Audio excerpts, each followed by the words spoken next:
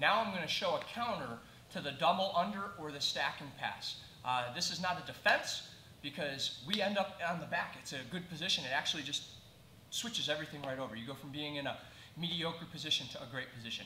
Number one, we never let anyone connect their hands, all right? You are a fish if somebody has connected their hands. Number two, uh, we need to put our feet on the hips, create some space. Number three, we control tight with the arms, stretching with the legs, and we're going to feed into the inside of the legs. And I'm to show you what I mean. Um, very important, guys. One, that we go slowly when we practice this first couple times so you can get the feel for this because the person on bottom might not realize that they're into, in danger until their shoulder or arm feels like it's going to explode. You need to be wary of that. Not every time is it going to be like that, but enough that it's worth talking about. So uh, do this transition very slowly.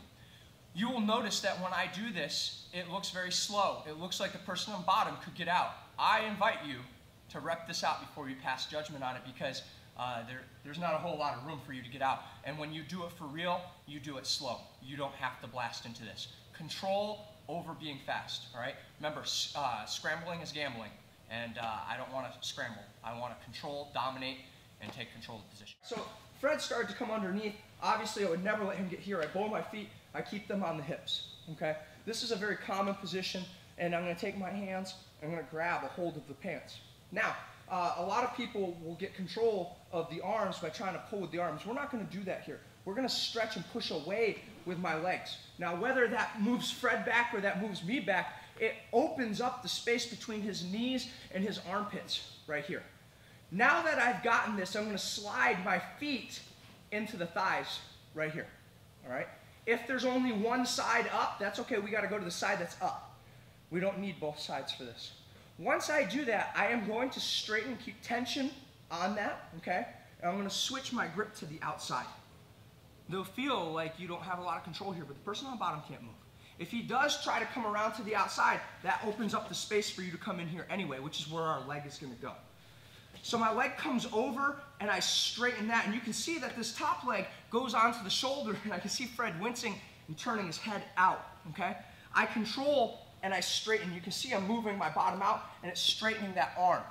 Now, when I let go of that, I want to keep good pressure here. Can you even lift this leg, arm off the ground? You can't. It's important that we're extending our heel away and are flexing our toes in. Now from here, my hand is going to come to the belt and I'm going to slide my leg in and my knee to the floor. So watch this transition. One, right here. Again. Guys, this is, this is a good counter here, okay? You okay, Fred? Okay. So I'm here, right, feet on the hips. I'm to push away. I'm to hook. I'm stretching, right? From here, I come up, double control. I'm straightening. This leg goes in. And watch how I scoop my hips out. And you have to keep the foot flexed and the heel away. Control, sliding that knee in into the back. Feet in, okay? I stretch, I control, my leg comes over. I'm straightening both legs. Can you come up the back, Fred? Go ahead. No, no, no, really try. Sorry, that was me being a jerk. Okay? so keeping my, my right leg in, my left one can come out, but I keep that straight. And you see how he pancaked that time, guys? That power, straightening those legs is rough. Somebody that really tries to come out the side, just straighten your legs away, and they're going to face plant on the floor. Practice it easy, though, because it puts a lot of pressure on the shoulder and on the elbow specifically, okay?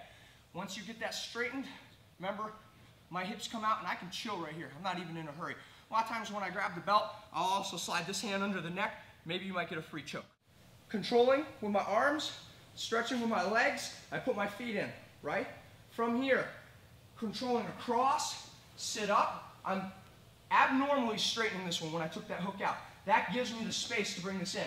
If he tries to pass all on his own, right? That will give you the space here, and you have to straighten that leg out. If he tries to come up to the back, guys, straighten those legs. From here, out. Oh my God. Straightening, feet go in, right? From here, control, and he started to pass, right? Guys, you need to straighten here. And you can see that he's trying to come up. Look at that top leg back up, please. That top leg up here close. My ankles are near his junk, okay? Straighten it. Hips out. Turn it. High percentage, pretty slick. A lot of people haven't seen it. Remember your control, push with the legs, then feet into the thighs first, and then really straighten them out. Sit up, control, leg out, over, straighten, hips up, and out. Go slow, guys. It'll blow out the shoulder, okay?